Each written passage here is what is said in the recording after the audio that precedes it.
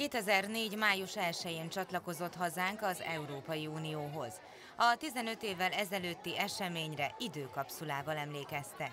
15 évesek üzeneteit tartalmaz elsősorban, tehát 15-15 éves üzenete benne van, illetve még helyezkedtek el benne az érdeklődők, és aki szeretne megörökíteni egy-egy gondolatot. Titkos rovásírással készült üzenetek, tervek, javaslatok, ötletek, ezeket tartalmazza a kapszula. Terveket szeret, szeretnénk majd megfogalmazni, valamint igazából Európával kapcsolatban is, inkább újításokat, de mindenképpen valami hasznos dolgot, ami reméljük 15 év múlva meg fog valósulni. Az időkapszulát Szabó István alpolgármester segítségével helyezték el a megyei könyvtár udvarán.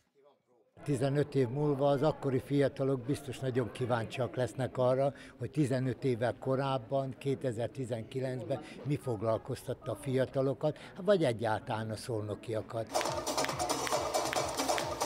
A szolnokiakat egész nap színes programkavalkád várta a Kossuth téren. Színpadi, családi rendezvények, kerékpáros túra és az elmaradhatatlan EU sátor a legaktuálisabb információkkal.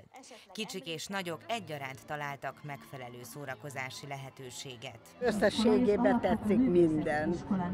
Én már a gyerekek játszanak, műsoruk van, kerékpároznak, ez, ez a jövő a gyerekek. Délelőtt érkeztem ide, kipróbáltam, ott hátul a, azt ilyen menni kell, hogy hát... Hogy tetszenek a népi játékok? Jó, nagyon tetszenek.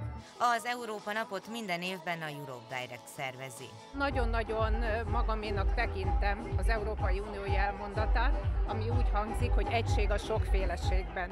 És itt a téren mindig ide tudjuk varázsolni a testvérvárosok kultúráját, hagyományait. Most is itt vannak velünk Nagyszebenből és Lengyelországból. Robert Schumann francia külügyminiszter 1950. május 9-i nyilatkozatában javasolta először egy nemzetek felett álló európai intézmény létrehozását.